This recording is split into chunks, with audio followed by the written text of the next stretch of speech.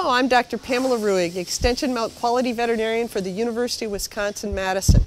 We're continuing with our series on the seven habits of the highly successful milking routines. Previously in this series, we've discussed the goals and background of the milking routine. We've introduced the first habit. That habit is that cows are calm and clean before milking. And today we're discussing habit two. Cows are grouped. The purpose of grouping cattle is really to ensure that we can produce high quality milk without transmitting mastitis pathogens amongst the cows.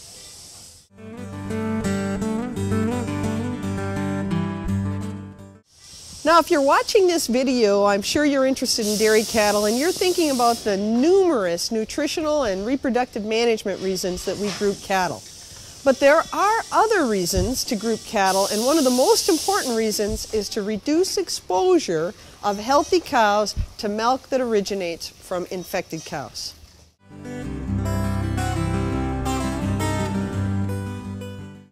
Now, the reason that we group cows to reduce exposure to potentially infected milk is to reduce this contagious transmission of mastitis pathogens.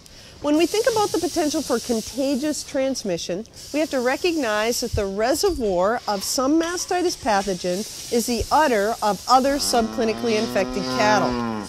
Transmission of these contagious mastitis pathogens occurs when the teats of healthy cows come in contact with milk that originated from the udder of an infected cow. Usually we can recognize these potentially infected cows because these are the cows that have long-term chronic mastitis infections. Now, there's some typical organisms that we worry about and that um, when they're present on the farm that you'd want to consider having a grouping program during milking. The organisms that typically result in long-term chronic infections would be organisms like Staphylococcus aureus, Streptococcus agalactiae, Mycoplasma bovis, many of the environmental streptococci, some strains of Klebsiella, and potentially other chronic subclinical infections that cause mastitis in dairy cattle.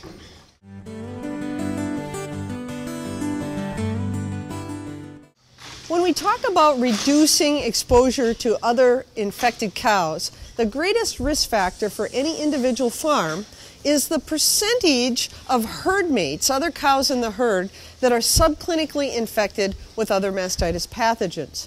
Therefore, one of the most important steps when we think about grouping to control mastitis is having a method to diagnose subclinical infections. Well, usually you use the somatic cell count sheet, the monthly somatic cell count values, and lists like the chronic cow list. It identifies cows that have high cell counts for two or more months are often useful.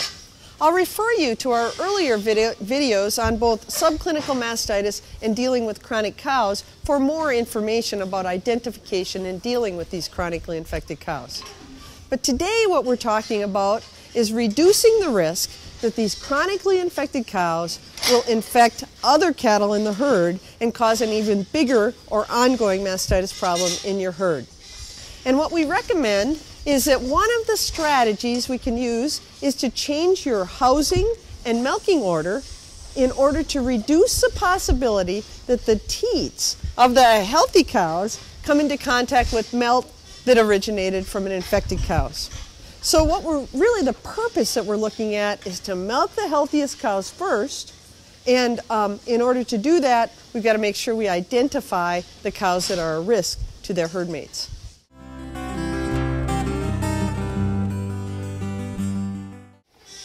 When we look at grouping as part of our seven habits of a highly successful milking routine, what we're really looking at is a risk reduction program.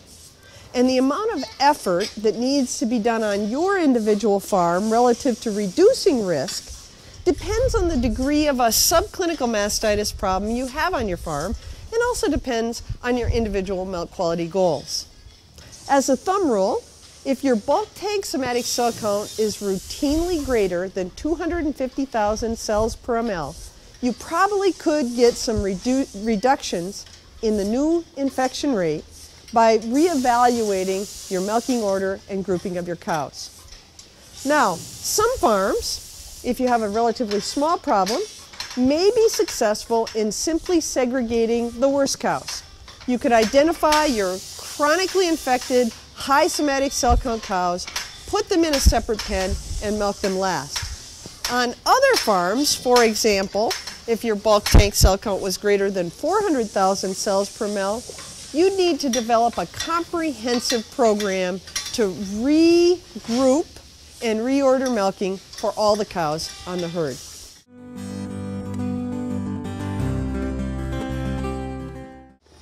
When we introduce a grouping program or segregation program as part of our milk quality program on our farms, the first thing we have to recognize is that there's different types of cattle present within the herd.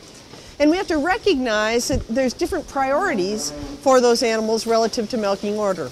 The most important animals to keep healthy and away from potentially infected milk are animals like these first lactation animals who have no history of ever being infected.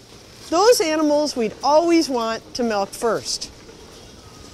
Another priority would be animals like this good old girl, where we got a healthy cow who has always had a history of having a very low somatic cell count.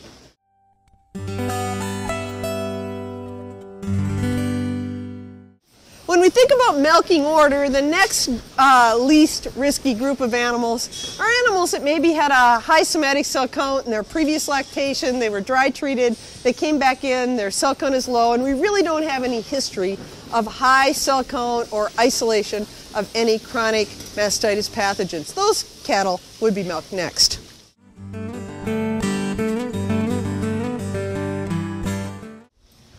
Finally, the most dangerous group of cattle that we have on our herds are chronically infected cows, cows with infections caused by Staph aureus or another long-term subclinical pathogen.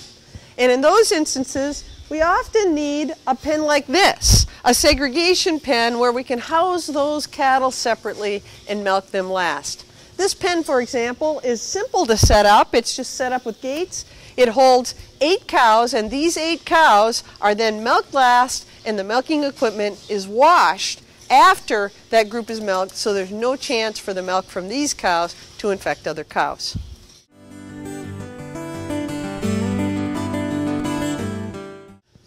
Let me just summarize. The goal of a grouping program to improve milk quality is to identify and milk first the healthy cows that have no evidence of subclinical mastitis infections. Secondly, we'd milk the cows of unknown status or older cows. And then finally, we would milk last the cows that we know are a threat to infecting other cows in the herd. Now, if you have a smaller tie stall operation, you can accomplish the same thing by simply ordering the way that the cows stand in your barn or the way that you move around the barn with a milking unit. So the same thing can be accomplished very easily regardless of the type of milking facility that you have. In this series, we've been discussing the seven habits of highly effective milking routines. We started off in our first episode discussing the goals and the background for why having an effective milking routine is important. In our first habit of the highly effective milking routines, we talked about the things that happen outside of the barn, keeping cows calm and clean before they enter the milking parlor. And today we're finishing up the things that happen before we enter the milking parlor by discussing grouping cattle to minimize the chance of transmission of contagious pathogens. Remember, we need to identify subclinically infected cattle, we need to know what our pathogens are, and we need to make sure we minimize the risk of developing new infections. In our next episode, we're going to move into the milking parlor and discuss the third habit of highly effective milking routines, having a consistent pre-milking cow preparation.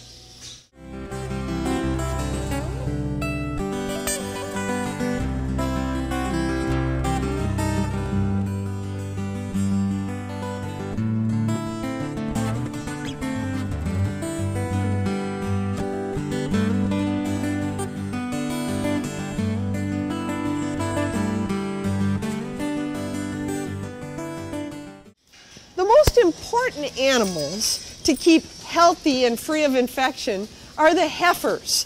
that have just calved and, and are CMT negative. Those animals should be separate from potentially infected cattle. and milked first.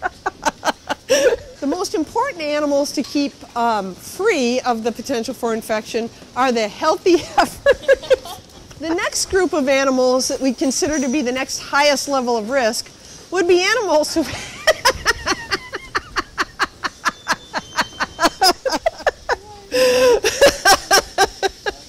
All right, we'll try this. Uh,